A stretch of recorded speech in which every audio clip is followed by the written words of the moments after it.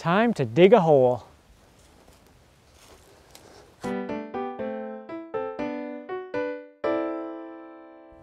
Hey guys, it's Phil from smilinggardener.com. If you haven't picked up my free online organic gardening course, you can do that right on the homepage of smilinggardener.com. Today I'm talking about soils again.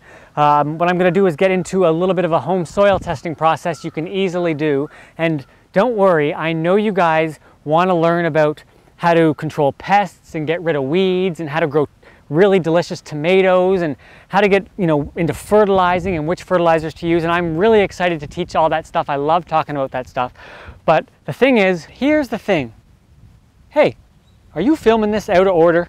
When we start with the soil, we're actually working on all of that stuff already. So I'm already teaching you that. When we have really good healthy soil, we have healthy plants, we don't have pest problems, we have delicious tomatoes and other plants and nutritious plants. So starting with the soil really takes care of any kind of problems you might encounter and it really addresses a lot of the goals you may have such as growing food. So that's why we start there. And the cool thing is, within a few years, you're gonna be growing this really healthy food and these really beautiful flowers. Now I say a few years because it actually does take time to get the soil to a level of nutrition that you can really be sure you're going to have hardly any pest problems. You can be more sure you're going to have higher nutrition in your food. It doesn't mean this year won't be good. You, you can still have great success in your first and, and second season, maybe second season, but as you get further and further, that's when it really starts to click. And it starts with this hole I've dug right here.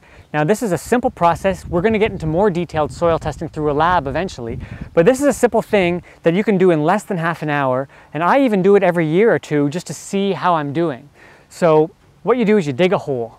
You dig a hole that's about a foot wide and long and deep, and you start to look into that hole and you figure a few things out about your soil. The first thing I look at is how easy was it to dig. And you want to keep notes on all of this stuff because one of the main reasons we do it is to see how we progress year to year. Last year when I dug in here, it was reasonably difficult to dig. It's a, it's a pretty heavy clay soil. Um, it came out in big clumps. But last year I double dug this, which I'm going to show you eventually, and I sheet mulched it, which I'm going to show you eventually as well. And so digging it this year, it took about one minute to dig this hole. I put it in here into a wheelbarrow. You could put it onto a tarp or a garbage bag. You want to look at it and see how dark the soil is. Uh, here this has pretty nice organic matter because I amended it quite a lot last year, but when I started, it was a much lighter color. Now it's pretty dark. I guess you can't see because I'm kind of standing in the shadows. And you know what? It's going to get a lot darker over the years. If it were a really light beige color, if I knew I had sand, then I can kind of keep track as I'm amending it with organic matter if I'm improving that. Um, you know, if it were a, like a gray color, I might just be a little concerned about if it's a, maybe a really heavy clay, again, I'm gonna be amending it. So I'm just trying to pay attention.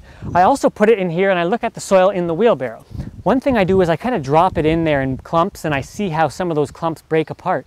Look at how beautifully this is broken apart. It still has nice, oh, there you are, nice kind of aggregates. It's not like sand, but it also has a nice kind of looseness to it. So it kind of clumps a little, but those clumps fall apart very easily. Now that's just because I've been working on it for a year.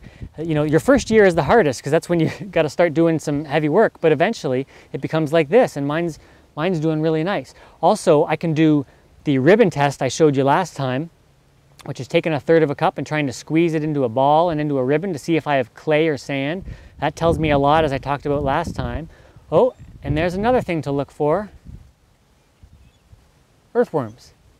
So if you go through your square foot of soil and you find 10 earthworms, then you're doing pretty good. I'm happy to have 10 earthworms. I'm really happy if I can find more like 30 earthworms, which I'm sure I could find in here because of all the work I've been doing. Another thing I like to look for, and this is especially if I do it in a lawn, which I didn't today, but if there's, if there's a, if you do it in a place where there's roots, if you see how far down the roots go, you can keep track of that.